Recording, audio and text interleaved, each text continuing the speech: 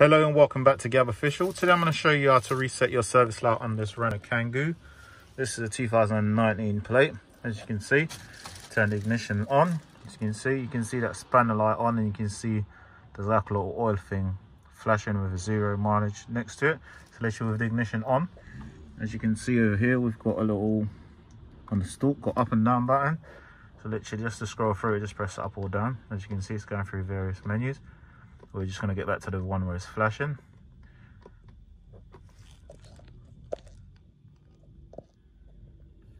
As you can see and we're just going to press the up button and hold it.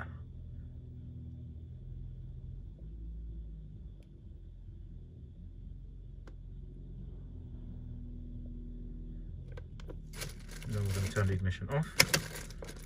Turn it back on. As you can see all the lights have gone out. I'm just going to start the car just so you can see as well. As you can see, all the lights have gone out. Thank you. Thank you for watching. Gab Official.